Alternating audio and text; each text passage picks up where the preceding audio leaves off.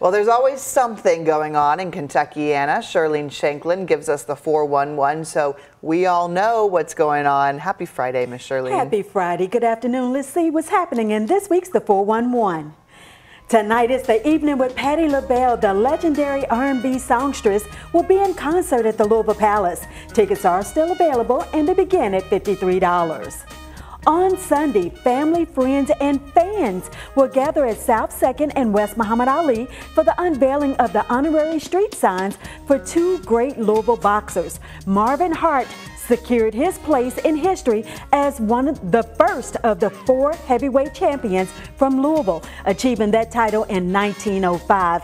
And then you won't believe Greg Page earned his distinction as Louisville's fourth World Boxing Association heavyweight champion, claiming his victory in 1984. The unveiling begins at 4 p.m and we and we still have a Kentucky connection in the American Idol competition. Emmy Russell, she's the granddaughter of the country music great and Kentucky native, the late Loretta Lynn.